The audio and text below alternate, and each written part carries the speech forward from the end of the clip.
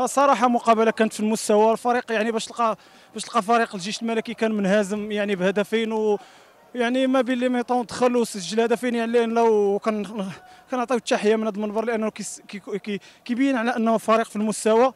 بالنسبة للفريق ديالنا كما شفتوا يعني عشنا واحد ثلاثة المقابلات في يعني في البداية ديال ديال الإياب اللي يعني ما ما ما كانش في الطموح ديالنا وما كانش ما عطاتش الوجه الحقيقي ديال فريق الكوكب.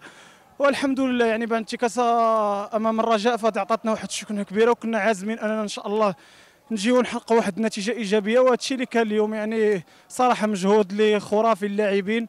والحمد لله على هذه الانتصارات اللي غيحفزنا عندنا مقابلات صعيبة.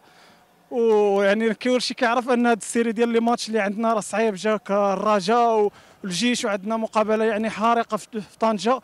ومن وراها مع الفريق ديال الحسنيه أكادير. فالصراحه ملي غادي نخرجوا إن شاء الله من من السيري ديال لي ماتش يعني وأقل الاضرار غادي نكونوا الأحسن إن شاء الله.